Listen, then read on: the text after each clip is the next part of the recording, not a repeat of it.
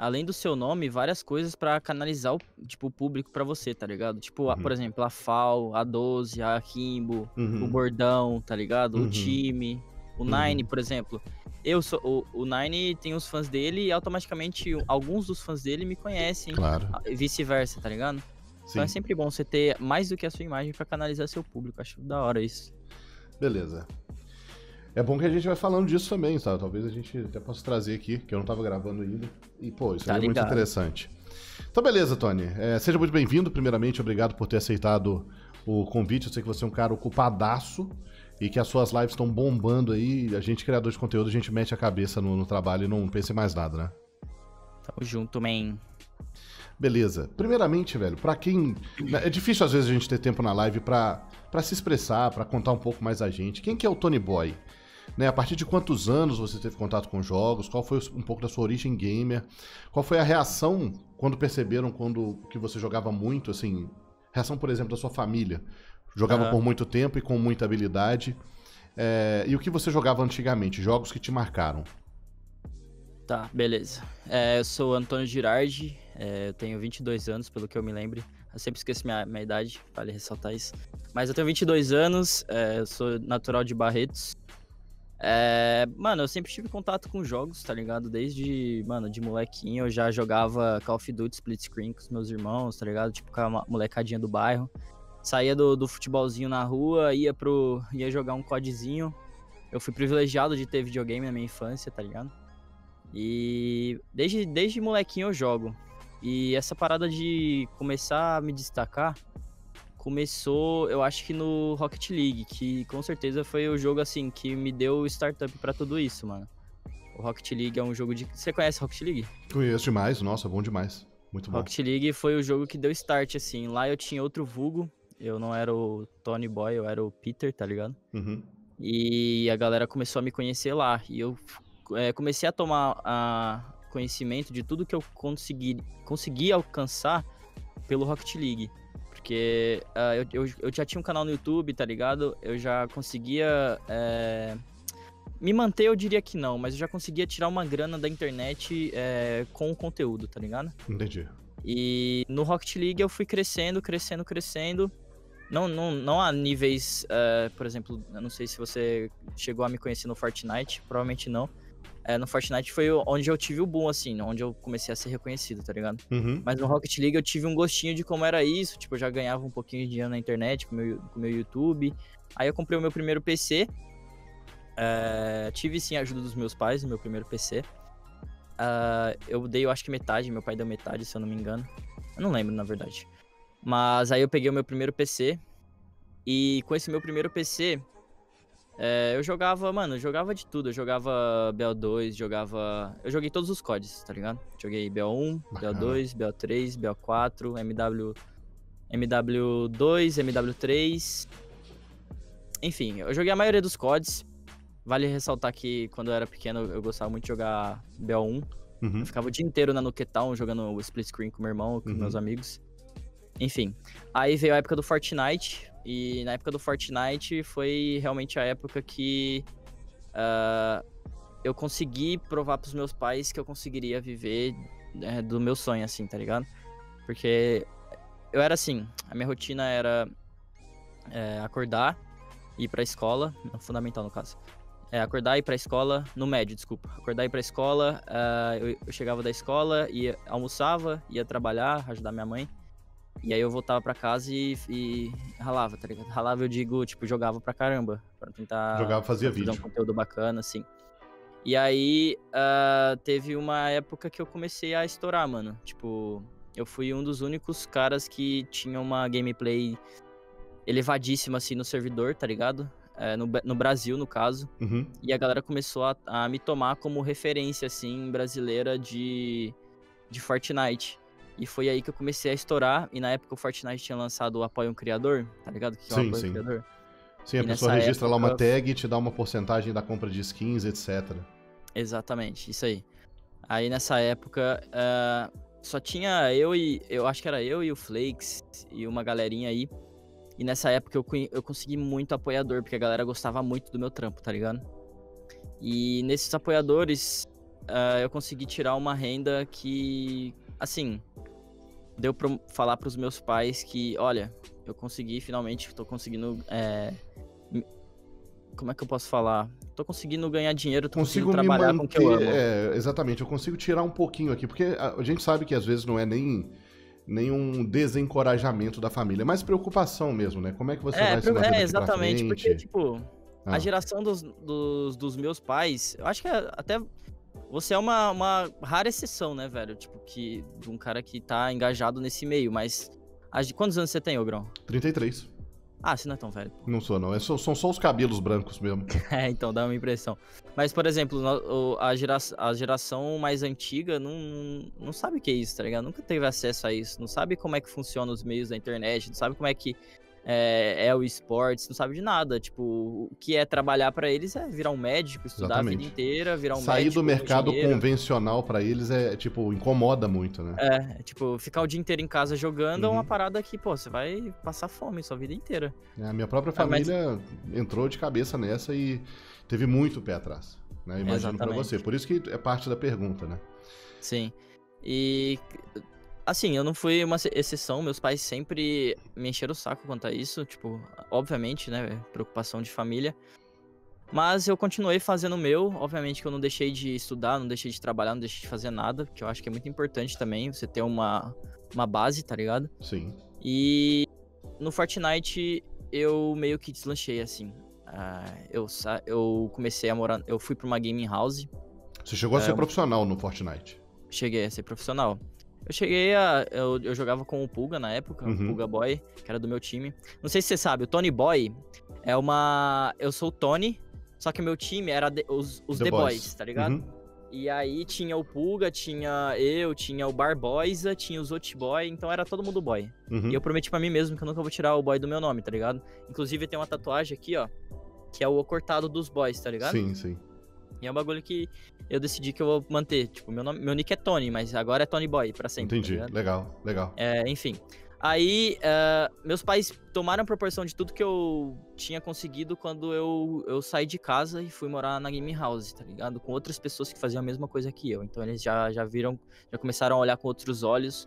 Bom, ele saiu de casa, ele tá com o próprio dinheiro dele, uh, ele tá. Ele tem uma galera na internet que ele mostrou para mim, pra gente que tá acompanhando, que gosta do trabalho dele, então alguma coisa tá certa. Ele tá indo pro caminho certo dentro do que ele quer, tá ligado? E aí eu fui pra Gaming House, uh, morei lá uma, acho que uns 4, 5 meses. Aí, né, nesses 4, 5 meses da primeira Gaming House foi a época que eu já comecei a desgostar do Fortnite. Uh, Fortnite já não me agradava tanto. Aí eu fiquei mais nessa casa produzindo conteúdo, tá ligado? Crescendo no meu Instagram jogava mais é, casualmente, assim. É, trein... Eu treinei muito pra Copa do Mundo, só que eu vi que não era meu jogo mais, tá ligado? Uhum. Não me agradava mais jogar. Inclusive, eu fiquei a uma posição de me classificar pra Copa do Mundo no Fortnite na época. Eu e o Puga. O Puga tava jogando muito nessa época também. E a gente ficou a uma posição, tá ligado? De se classificar. Enfim. Aí a gente mudou pra outra game house. E nessa outra game house uh, tinha lançado o COD. O COD, o COD Beta, tá ligado? O, uhum. Modern, Modern Warfare. Warfare. Isso. E desde sempre eu fiquei jogando, jogando, jogando, jogando, jogando, jogando, jogando. Eu, eu jogo desde o beta esse jogo. Eu tenho 100 mil kills, tá ligado? Uhum. E eu botei fé nesse jogo pra caramba, mano. Tipo, isso no finalzinho da Game House. Daí a gente mudou pra outra Game House, porque aquela não deu certo. A gente veio aqui pra Campinas. E eu continuei no game no, no, no, no MW, tá ligado? Sim. E enquanto o time inteiro tava jogando Fortnite, porque era uma casa, tipo, os The Boys era main Fortnite, tá ligado? Uhum. E pra galera não fazia muito sentido eu, continuar jogando, eu continuar no, é, no time jogando Warzone, porque até. Warzone não, Modern Warfare, vale, vale lembrar sim, isso, sim. que são coisas completamente. Warzone Modern Warfare, né? Sim. É, e a galera achava que eu não ia tipo, virar nada, tá ligado? Uhum. Eu ia cair no esquecimento. Ah, o cara tá jogando um jogo que, pô, não vai, não vai pra frente, velho. Modern Warfare, um jogo de 300 conto. O que, que ele vai fazer nesse jogo? Quem que vai acompanhar o cara? Quem vai ter interesse nesse jogo? E a partir daí eu fiquei meio desacreditado também, tá ligado? O que, que, eu, que, que eu ia me tornar, mano? O que, que, o que, que eu ia fazer da minha vida? Porque era um jogo que me agradava, era um jogo que eu, que eu sentia muito prazer de jogar, até hoje sinto. E eu falei, eu decidi, mano, que se foda, eu vou acreditar nesse jogo, eu vou continuar. E nesse, nesse tempo que, que eu tava né, tomando essa decisão, meio que a Game House acabou, tava todo mundo meio para baixo também. É, ninguém sabia é, ao certo o que queria. Aí acabou a Game House. Eu vim morar num apartamento com a minha mina. E nesse meio tempo que eu vim pra cá, o Warzone lançou. Uhum. E foi aí que eu comecei a deslanchar de novo, tá ligado? Então Aí hoje eu já- você mora com a sua namorada. Isso, eu moro com a minha namorada num apartamento aqui em Campinas. Aí em Campinas, onde foi a sua segunda game house, entendi. É, namo- é isso. Show de bola. É, eu não, não te acompanhava na época do Fortnite, mas é claro, para preparar essa entrevista, eu pesquisei muito sobre você, inclusive vi bastante seu canal. E, cara, que abordagem fantástica, né? O primeiro, um primeiro papel de parede aqui, né? Um, background completo do, do Tony. Inclusive, você respondeu já duas perguntas relac- relacionadas ao, ao Fortnite, a, a primeira introdução aqui. E você falou da, da origem do nick do Tony Boy. A gente até brinquei com você antes da entrevista, né? O que, que, eu escrevo aqui? Tony, Tony Boy. E teve um dia na minha live que o cara apareceu e falou assim: Ogro, o Tony tá, tá cogitando mudar de nick porque o pessoal fica de Tony Boy! Tony Boy! E ele tá mad, né? Você não, você não fica mad, mas é um negócio que às vezes. Porque virou esse meme, né? O, ao, mesmo tempo que a galera associa o meme com você, isso é legal na internet. Quando você tá jogando e o pessoal fica gritando Tony Boy, enche o saco, né? Ah, não é que enche o saco, mas às vezes fica meio. Mano, toda hora, mano. Toda hora que eu tô jogando, alguém vai. Você pode. Mano, você pode assistir. Quem assiste minha live sabe.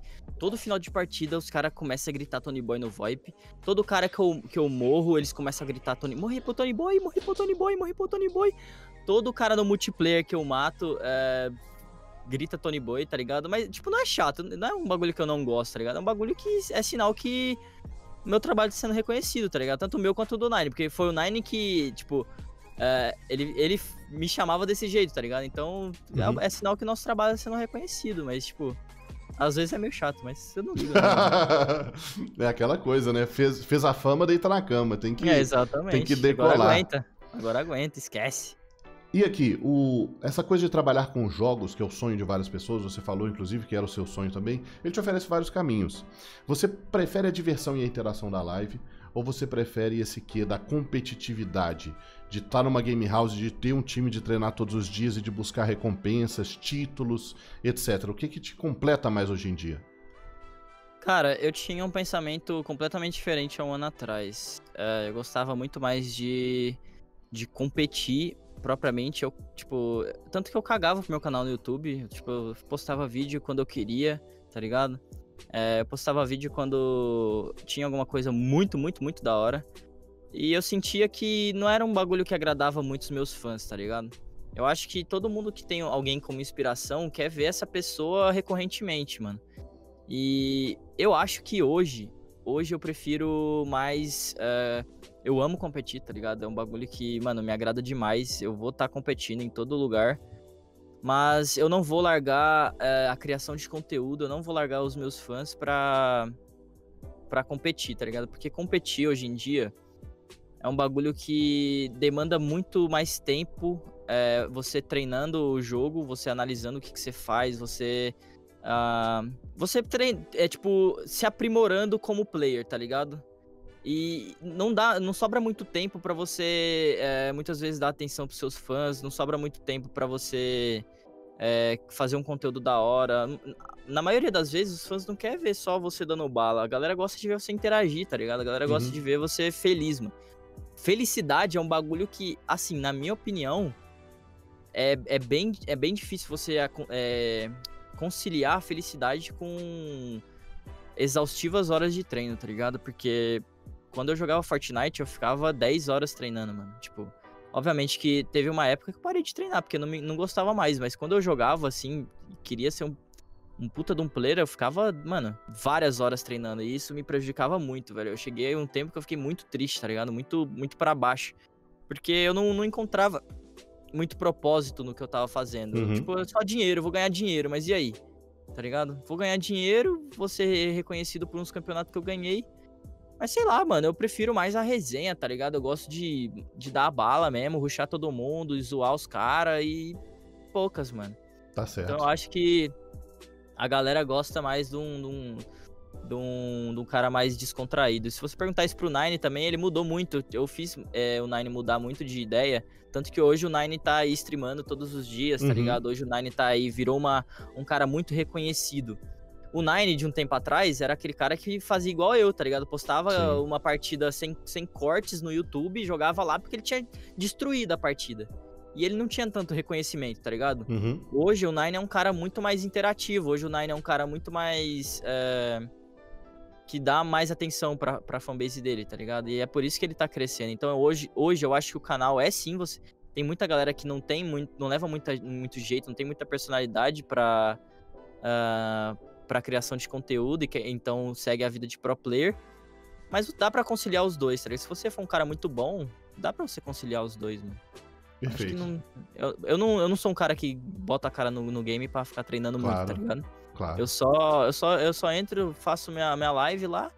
E assim, quando eu ver que eu tô ficando pra trás, aí beleza. Aí eu vou entrar no bagulho e vou, mano, vou ver que eu tô errando, É. tá ligado? E vou destruir, mas. Ainda mais porque hoje em dia nem existe cenário competitivo, né? Você tem aí esses Exatamente. torneios comemorativos da, da Activision, Sim. de Kill Run, etc. E já que você falou no Nine, é interessante, é, eu queria que essa entrevista fosse sobre o Tony Boy. Uhum. E eu elaboro geralmente as perguntas em live, com participantes, inclusive, que acompanham o trabalho de vocês, né? E o pessoal Uhum. ficava perguntando coisa, falando assim, vamos falar de Tony Boy Nine. É, é, e eu fala- falava assim, eu vou colocar menos Nine e mais Tony Boy, eu não quero ficar falando do Nine. Mas é Uhum. impossível, porque vocês são uma dupla incrível. Então Sim. eu coloquei aqui é, duas perguntas. Hoje é inegável para os fãs brasileiros que a melhor, melhor dupla de Warzone é Ninext e Tony Boy. Como aconteceu o encontro de vocês? Se vocês já, se- já se conheciam antes? Se vocês começaram. Como é que vocês começaram a jogar juntos? Como é que rolou essa química entre vocês? Mano, eu não sei, juro. Se é todo mundo que pergunta, eu não sei responder. Mas. Você não lembra? Tipo assim, vocês Não, jogaram não juntos lembro. um dia e. Ou combinaram de jogar. Em- Mano, eu não lembro, eu juro, eu não lembro como é que eu e o Nine se conheceu. Eu sei que foi no Twitter, tá ligado? Aham. É, eu conhecia ele, tipo, conhecia ele de outros jogos, assim, eu sabia que ele era um. Tipo, porra, o cara era muito monstro. E eu Uhum. acho que ele também me conhecia da época do Fortnite, ele sabia que eu também era muito monstro. E aí nós, nós trocou uma ideia, falou, ah, bora jogar um qualquer dia aí, isso no começo do Warzone, tipo, no comecinho, Uhum, uhum. nos dias de lançamento do Warzone. E a gente jogou, e aí ele. A, a gente viu que a gente tinha uma energia da hora jogando junto e a gente continuou, velho. E, tipo, todos os dias, mano, no começo do jogo era todo dia jogando junto. Todo dia, todo dia jogando junto, tá ligado? Uhum. E aí até, até tá aí até hoje. E hoje vocês jogam menos juntos por conta de horário? Como é que acontece isso? Ah, tem o horário, porque o horário do Nine é mais de tarde pra noite, tá ligado? Uhum. E esse é o horário que eu tô acordando. E pra eu começar a jogar o jogo é quase um ritual satânico, mano. Eu, tipo, eu acordo, eu tomo banho, eu como, eu dou uma deitada no sofá, mexo no, no- nas redes sociais. Aí, lá pelas 10 horas, eu tô, mano, na bala pra jogar. Você começa na madruga, né? E o Nine É, tá madruga. terminando. É, e aí o Nine já tá. A hora que eu chego, o Nine já tá burnout já. O cara já, tá louco pra sair do jogo. tá tiltado ligado? com ghost, É. com não sei o quê. Com go... É, tiltado com ghost. Eu entro no, no Discord, ele já tá xingando os ghosts, tá ligado? E poucas, Uhum. aí eu nem chamo pra jogar mais. Isso. Antes, era porque nós, a gente jogava muito de tarde, tá ligado? Aham, aham. E aí a gente gostava muito, tipo, sempre quando eu entrava, ele entrava junto, entendeu? Uhum. Aí a, a gente se encontrava mais. Ah, tô ligado. Sim. Mas é, tem outro, outro bagulho que também, tipo, quando eu jogo, eu jogo em live. Aham. entendeu? E aí tem muito ghost na minha live, tá ligado? E aí tem muito ghost na minha live. Aí se eu jogo com o Nine, junto os ghosts da minha live com os ghosts da live dele. Aí fica um bagulho impossível de jogar, mano. Mas impossível. e a questão do atraso lá, da tela pra você colocar na fila, não, os- ajuda? Os ghosts não já, ajuda? já procriaram, já. Já, Já tá, procriaram. já tão mutante já. Eles já estão eles já calculando tudo já. Não. Caramba, velho, que absurdo. Beleza. É, quando perguntado quem é o melhor do Brasil, o Ninext disse uma vez sem pestanejar. Aliás, ele faz isso com frequência. Tony Boy! É, mas também já disse que Tony Boy é um clone piorado dele. E, é claro, em tom de brincadeira lá no, no Flow, né? Eu assisti a, a Aham. entrevista toda do Nine lá no Flow.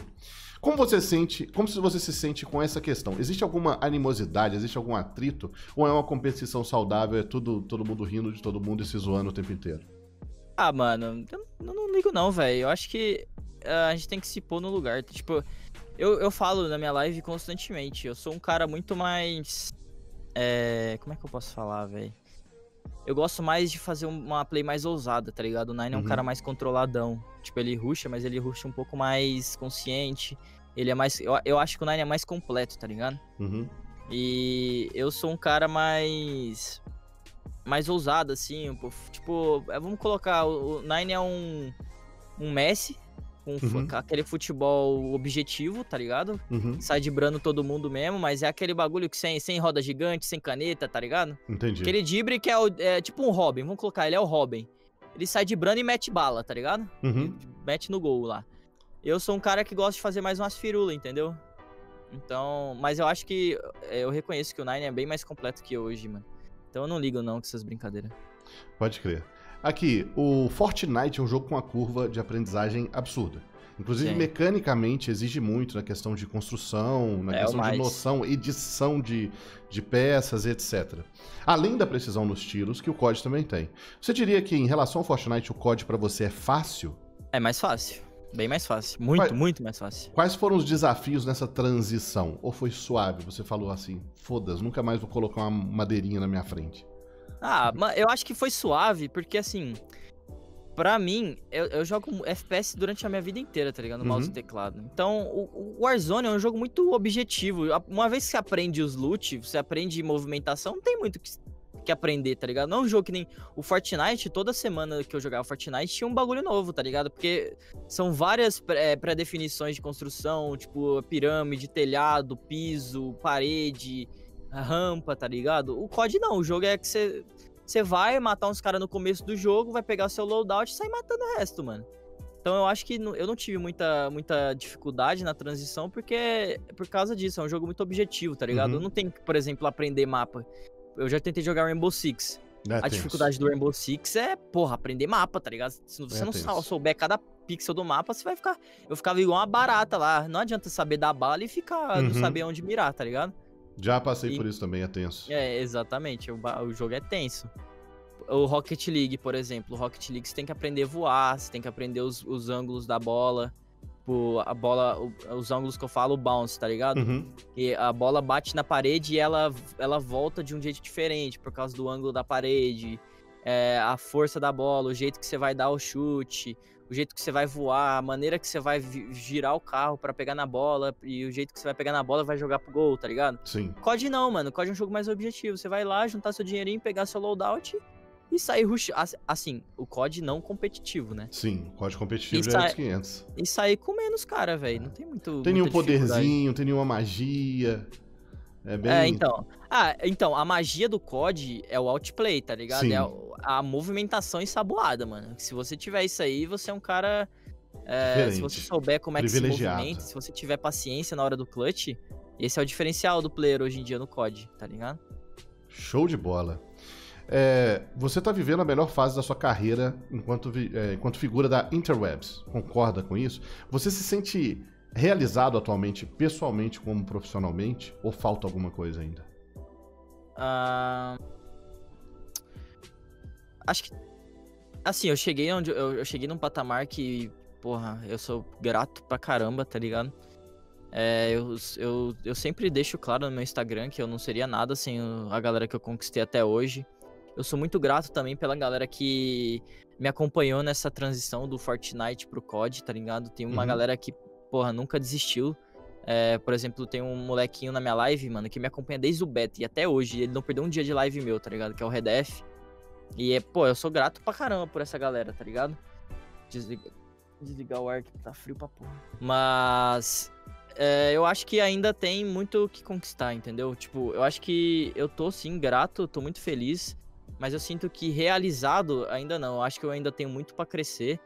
É, tanto, é, tanto como criador de conteúdo, tanto como, quanto player, como pessoa mesmo, tá ligado? Eu, eu sempre procuro evoluir ao máximo. Obviamente que essa parada de. Deixar bem claro que essa parada de. Ah, esse moleque é muito desumilde não- e não sei o quê. É uma parada mais zoeira minha, tá ligado? Uhum. Eu nunca te- é, rebaixo uma pessoa, é, uma pessoa mesmo. Tipo, nunca vou fazer isso. Eu só gasto a rapaziada dentro do jogo mesmo, tá ligado? Uhum. Então, com- é, quando eu evoluir como pessoa, eu falo que eu quero, mano, ajudar muita gente ainda com o meu trabalho, inspirar muitas pessoas com o meu trabalho, tá ligado? Quero crescer e usar a minha, a minha influência é, pro bem. Então eu acho que eu tô num patamar que muitos sonham em chegar e eu sou extremamente realizado. Mas eu ainda acho que dá para buscar mais coisa, tá ligado? O céu é o limite, eu acho. Show de bola. Inclusive tem a ver com a próxima pergunta aqui. Você tem tido experiências desafiadoras relacionadas à sua comunidade. Algumas pessoas atribuem aos seus, aos seus seguidores uma conduta considerada tóxica. Sabemos que é difícil com, lidar com tanta gente ao mesmo tempo. É muita gente, é absurdo. Né? Uhum. Mas ao mesmo tempo o streamer é parcialmente ou completamente responsável pelo seu chat. Como você uhum. enxerga essa questão? Ah, o meu chat é bem suave. O meu chat. Tipo, o meu chat uhum. é muito tranquilo. Meu chat gosta onda comigo junto, tá ligado? E meu chat, eu acho que eu nunca vi ninguém do meu chat é, fazendo, tipo, merda no chat dos outros, assim. Porque meu chat, tipo, é uma galera mais de boa. Meu chat é muito restrito, tá ligado? Agora, esse, essa parada da, da, da, rapaziada ter a minha imagem atribuída como tóxico. É, assim, eu acho que é, é compreensível, obviamente, porque usou todo mundo mesmo. Só que é uma parada que, tipo assim, não, não que seja um personagem, porque eu, eu sempre fui assim na minha vida, assim. Eu, eu gosto de zoar os outros, tá ligado? Debochado. É, debo, é, debochar, sei lá. E eu acho que a galera tem que levar isso mais na, na esportiva, porque a partir do momento que eu não tô é, xingando ninguém, assim, olho no olho, eu não tô falando mal de ninguém, assim, tá ligado? Eu não tô é, criticando uma pessoa específica. Eu tô fazendo isso, tipo, no meu jogo ali, tá ligado? Com... Uhum. Eu faria isso com um amigo meu, tanto que eu, eu zoo pra caralho com os meus amigos, tá ligado? Uhum. Tanto, é, ou com um player, tipo, normal, que eu não conheço, não sei quem é a pessoa. Eu sempre uhum. fui um cara extremamente educado, tipo, é, eu nunca desrespeitei ninguém, tipo, na vida real mesmo, tá ligado? Certo. É, e quando é para falar, quando é para ser educado, assim, é, para ser uma pessoa da hora, eu sou, tá ligado? Agora, o meu personagem, não, não é que é, um, que é um personagem, mano. Mas não tem nada demais em ser o personagem, né? A gente tá na hora do jogo, é uma hora geralmente de, de relaxamento, de grande animação. Não tem problema é, você mano, ser é uma, uma parada... versão mais exagerada é... de você. Tipo, eu não tô xingando. Eu não tô xingando a pessoa, tá ligado? Uhum. Eu, eu, não acho, eu não vejo nada de errado nisso, mano. É uma zoeira, tipo, saudável, velho. Eu não tô xingando é, uma pessoa específica, eu não tô ali maltratando alguém, tá ligado? Uhum. Eu não tô sendo racista, eu não tô sendo homofóbico, eu não, eu não tô sendo nada, tá ligado? Eu só tô ali, mano, fazendo meu jogo e entretendo a rapaziada, velho.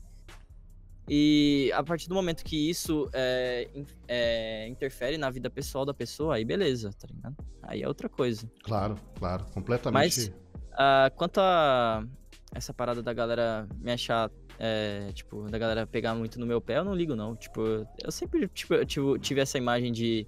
Ah, o Tony é muito zoeiro, o Tony é muito tóxico, meu Deus, ele gasta todo mundo. Uhum. Sempre tive. Hoje eu racho o bico junto com a rapaziada mesmo. E poucas. Eu, os caras me chamam de tóxico, eu, eu falo que eu sou tóxico, os caras vêm me gastar e eu gasto os caras de volta. É normal, mano. Tipo, é, é normal. a, galera tem... go... a galera gosta também, velho. Tem alguns streamers, inclusive, que pegam para si essa pecha, essa, essa nomenclatura e falam, sou tóxico mesmo, que é a live da toxicidade, coisas desse tipo. Enfim, não tem, tem nada de, de treta com isso, tem nada de errado. É, é a pergunta, inclusive, era mais relacionada à comunidade, né, que, que é difícil de controlar, que às vezes pega um comportamento e espelha aquilo. Mas você Sim. deixou muito claro. É, eu não é... tenho nada contra ninguém não, rapaziada. Só deixando claro aí que eu gosto muito. É, eu amo geral do chat do Nine, do chat do Stolen, do chat do Skip. Pode, mano. Vocês querem me odiar hoje, vocês podem me odiar hoje. Vocês querem me amar amanhã, vocês podem me amar amanhã. Todo mundo é bem-vindo na minha live. Eu vou gostar de todo mundo. Mano, eu não vou. Eu não sou uma pessoa ruim do jeito que a maioria pensa aí, tá ligado? Eu só Tony. sou um cara que gosta de zoar geral. E pode me zoar também. Pode cara. me zoar também, né? Não, poucas. Tony. Poucas. Tendo um competitivo profissional hoje, para cair em lobby fechado contra outras equipes prós, e a Activision virando para você e falar assim: Tony, você vai montar a sua equipe. Pode ser BR ou pode não ser BR. Quem seriam Ixi. os quatro integrantes? Eu, Ninezão, Huskers e. Hum, difícil, hein? Eu, Ninezão, Huskers. É quatro? Eu e mais três? Sim, um squad completo. Eu, Ninezão, Huskers e Metaphor. Boa. Boa. Quer comentar suas escolhas? Ah, eu acho que, pô, os caras são monstros. Os caras são completão. Só pra carregar o pai. Valeu, brotherzinho. Tony Boy, prazer enorme tê-lo aqui. Já acabou? Acabou, isso, acabou. Falei que, era, falei que era suave, falei que era rapidinho, velho. Deixa aí o seu recado pra comunidade que te acompanha, pra comunidade que te segue nas redes sociais. Manda aquele me segue nas redes, manda o seu arroba pro pessoal poder te achar na internet e te chamar de Tony Boy. É. Bom, rapaziada, o meu Instagram é arroba Antônio Girardi, underline. Meu Twitter é arroba TonyTheBoy, underline. Tem mais algum? Nimo.tv barra Tonyboy. É, eu não sei se eu vou ficar na Nimo, YouTube. Mas... YouTube. Ixi, meu YouTube eu não sei minha URL, mas vocês sabem, é só Tonyboy pesquisar no YouTube aí que vocês acham. E o recado que eu tenho para dar é, mano, aproveitem que a gente tá vivendo uma época de ouro, velho. Todo mundo tá na internet hoje em dia, todo mundo tá aqui para se divertir, todo mundo tá aqui pra, uh, pra esquecer dos problemas e todo mundo tá aqui para fugir do padrão. Não sejam uh, o padrão, tá ligado? Sempre tentem desviar da curva e deem valor nas pessoas que, que estão diariamente tentando fazer vocês mais felizes, tá ligado? É isso, é, só queria deixar novamente claro aqui, reafirmar que eu não tenho nada contra ninguém, que eu vou gastar, independente de você ser conhecido ou não, é, eu vou gastar, eu digo assim, no momento específico, obviamente, eu não vou chegar em uhum. você, opa, e aí, Tony, beleza? Opa, e aí, o seu. Tá ligado? Seu não. arrombado, Sem... Zé. É, então, seu, seu ruim, ruim, não. Tá ligado? Mas eu, eu, eu, tô aqui pra pedir pra geral levar na esportiva e se quiser me xingar também, pode xingar, eu não ligo. E é nóis, tamo junto. O bagulho é dedo no cu e gritaria. Valeu, Tony. Fera demais. Bom, muito obrigado a vocês que acompanharem, que acompanharam, né? Deixe o seu like, compartilhe, se inscreva no canal. Nós temos lives todos os dias em twitch.tv barra Joga como Ogro. Acompanhe o Tony também. Um grande beijo do Ogro e do Tony. Até a próxima. Beijo.